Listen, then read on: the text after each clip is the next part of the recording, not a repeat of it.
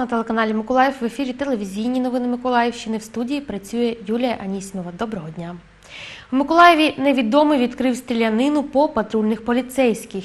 Інцидент стався на вулиці Спортивній в районі яхт-клубу. Правоохоронцям довелося відкрити вогонь у відповідь.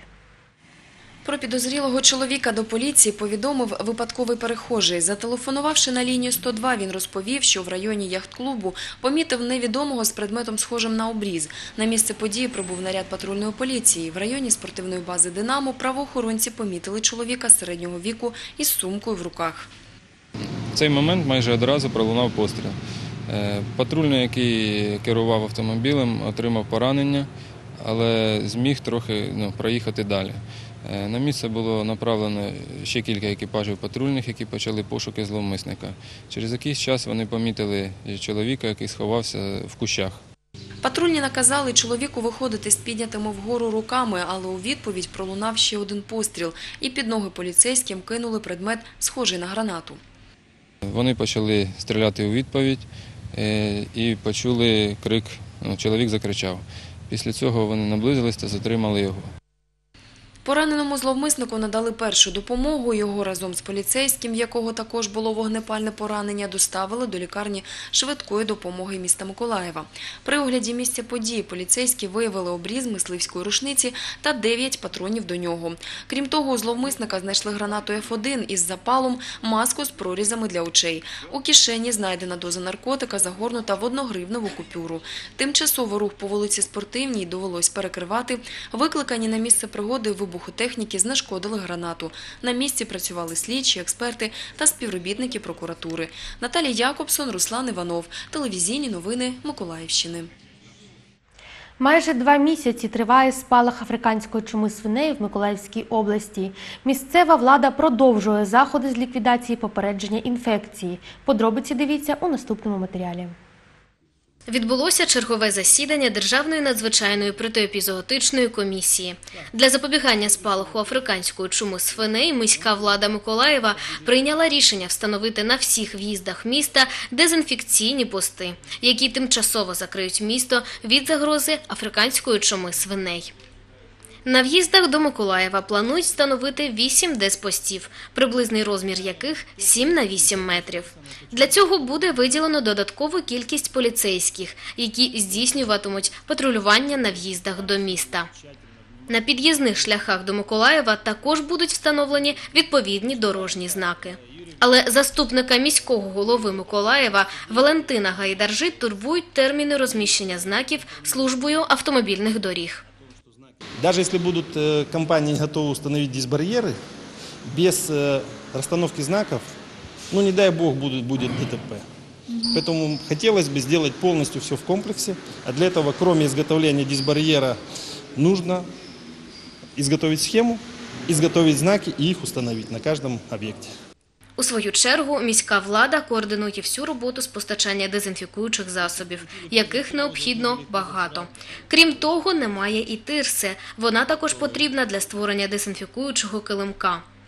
На сьогодні вже є дві вантажівки тирси. Необхідно як мінімум ще дві. Для вирішення цієї проблеми було прийнято рішення залучити підприємства міста, зокрема стивідорні компанії. Віолета Ротюнян, Руслан Іванов, телевізійні новини Миколаївщини. Зробити добру справу та ще й у православне свято Преображення Господнє. Миколаївці закликали покласти освячене яблуко у кошик для поранених військовослужбовців. Цього ранку біля храму на вулиці Садовій збираються люди, чекають на святкову літургію. Поспішають придбати квіти, яблука. Поряд скромно стоїть столик з книжками та газетами, а ще висить плакат «Священні яблучка захисникові на здоров'я». Сьогодні ситуація така, що е, країна потребує захисту, і наші бійці сьогодні її відстоюють. І е, їм потрібна допомога. Звичайно, держава щось допомагає, але е, їм навіть моральна наша, навіть не просто любов потрібна. І, і люди хочуть допомогти, але не завжди знають як. Активісти вдячні за будь-яку допомогу. Ця акція проводилась і минулого року. Тоді всі зібрані фрукти відправили до військового госпіталю. Сподіваюся, що і сьогодні зберуть достатньо, аби наші захисники на лікуванні поласували яблуками та грушами. Люди підходять, цікавляться, дехто бере участь у акції не вперше. На Садовой здесь, рядом с храмом, поэтому храм посещаю очень часто. Мой любимый храм. Батюшка замечательный здесь, и вообще культура. И вот мой друг, который тоже, мы боремся вместе за Украину, несмотря на то, что я родилась в России.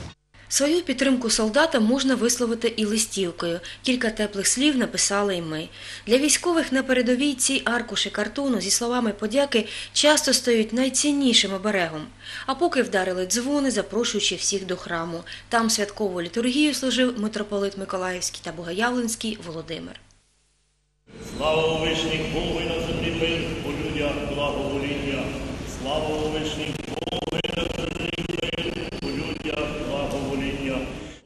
Поки триває молитва, є час замислитись над власним життям, кому допоміг, а кого може й образив. Друга назва свята Спас, наче натякає нам, врятувавши ближнього, врятуєш власну душу. Олена Міщенка, Юлія Кускова, телевізійні новини Миколаївщини. Миколаївська філармонія на останньому виступі цього сезону знов здивувала глядачів новинками. Виконання джазових стандартів з відомих кінострічок сумістили з танцями та дивакуватим музичним інструментом. В театральному дворику російського театру Миколаївська обласна філармонія та її шанувальники відзначили закриття 79-го концертного сезону. Сегодня будут солисты, м, у нас э, и солисты-вокалисты, солисты-инструменталисты. Э, Одним из э, примечательных явлений сегодняшнего концерта есть то, что будет звучать вибрафон. Это довольно редкий инструмент у нас в городе. За 25 лет моей жизни в Николаеве э, я не попадал на концерты, где сольно звучал вибрафон. И, ну, собственно, это инструмент, который в основном участвует в джазовых оркестрах. Провести музичний сезон та послухати джаз прийшло чимало городян. Артисти запевняють, що публіка позитивно реагує на нові рішення в концертних програмах. Я хожу постоянно на все концерты, которые у них в среду в театральной сферике. Каждый концерт по-своему хорош. Классика, вообще я сторонник классики. А сегодня будет вообще необ- необычный джаз. Впродовж майже 30 років Миколаївська обласна філармонія кочує по різним приміщенням, не маючи свого. Наразі музиканти знов змінюють місце дислокації. В данный момент у нас заключен договор аренды м, с ДК строителей, и нам выделяют помещение для размещения артистического состава. А рядом в офисном помещении по адресу улица Рабочая 2А м, выделяют помещение на четвертом, пятом и восьмом этажах для размещения администрации, бухгалтерии, ну, то есть э, всего остального состава филармонии. Тож вже у вересні філармонія почне знов здивовувати глядачів. 80-й ювілейний концертний сезон у новому приміщенні обіцяє бути цікавішим. Олександр Гордієнко, Артем Белібов, телевізійні новини Миколаївщини. Що побачать глядачі в ювілейному 90-му сезоні Миколаївського академічного українського театру драми та музичної комедії? Завісу над таємницею на прес-конференції відкрив директор Микола Берсон. Перші глядачі нового сезону переступлять поріг театру 1 листопада. Квитків у продажу поки що немає, але дзвінки забронювати вже лунають у театральній касі. Директор, режисери та актори зробили все, аби не розчарувати своїх шанувальників і влаштували справжній фейерверк прем'єр. Этот год будет год э, бенефисов. Как бенефисов так и бенефисов театра. И вот смотрите, как э, выстроил и решил это сделать. Кроме текущей работы, будет четыре пары бенефисов. 1 ноября текущего года по традиции мы открываем 90-й юбилейный театральный сезон. Открываем бенефисом заслуженных артистов Андрея Дерика и Светланы Никитасенко. Загалом на великій і малій сценах театру у новому сезоні йтимуть 13 прем'єр, і не тільки розважальних жанрів. На думку директора, театр, хоч і повинен бути поза політикою, проте виховувати у глядача громадянську позицію повинен.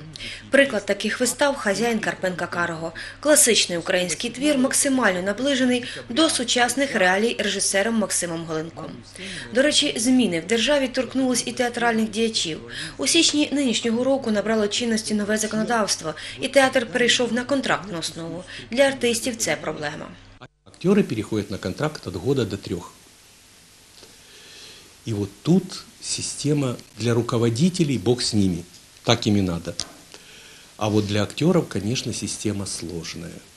Вы понимаете, все теперь зависит только от одного человека. Если вот мы идем на, сейчас на конкурсы, да, там будет 6-9 человек, 3 управления, 3 того, 3 того, то актер только с директором.